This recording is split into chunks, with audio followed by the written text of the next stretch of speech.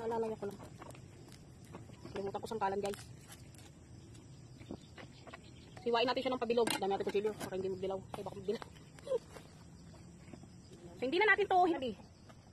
So ito na yung ating kamote. So hindi ko na siya hinugasan guys. Doon ko na siya sa mantika huhugasan. So buksan na natin. Painitin natin uli. Ito ito.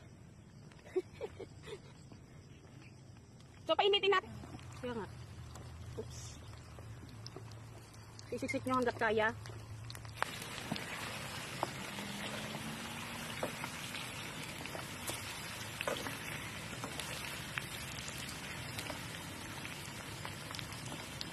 So, halo lang, tewa.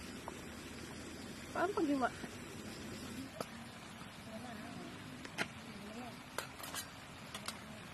sa another wala na namang kwentang vlog. Yan, so join lang kayo sa aking membership or Patreon mga gusto ng mga exclusive.